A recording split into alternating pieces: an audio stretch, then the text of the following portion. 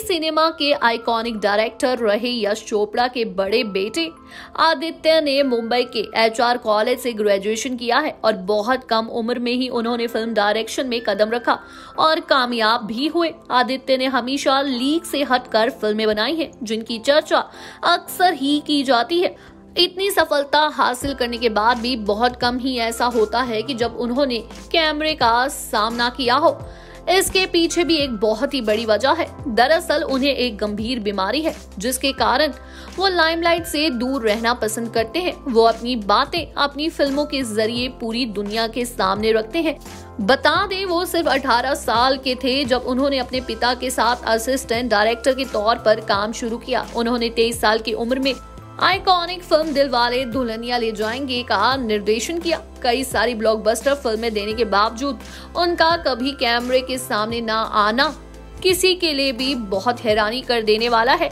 एक ऐसी वजह है जिसे जानकर लोग हैरान रह जाएँगे।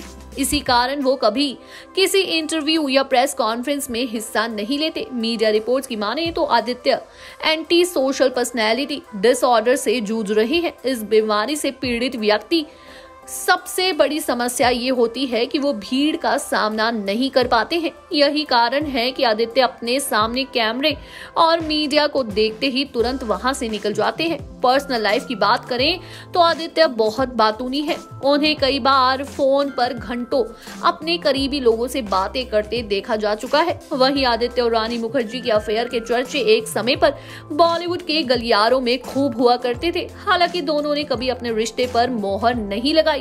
लेकिन दोनों के बारे में किस्से खूब सुनने को मिलते थे। बताया जाता है कि ये एक समय ऐसा था जब रानी से शादी करने का फैसला कर चुके आदित्य ने अपना घर तक छोड़ दिया था। आदित्य और रानी का प्यार परवान चढ़ रहा था।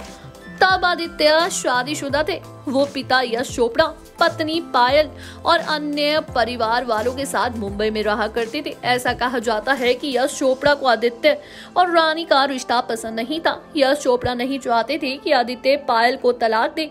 इस बात से नाराज़ होकर आदित्य घर छोड़ होटल में रहने लगे थे। आखिरकार यश चोपड़ा ने बेटे आदित्य की इस जिद के आगे हार मान ली और रिश्ते के लिए राज़ी हुए। कई सालों तक डेटिंग के बाद आदित्य और रानी ने 2014 में इटली में शादी की थी। दोनों की एक बेटी आदिरा है। वहीं आप देख रहे हैं नेक्स्ट नाइन न्यूज़ और मैं आपके साथ सादिका कौर। धन्यवाद।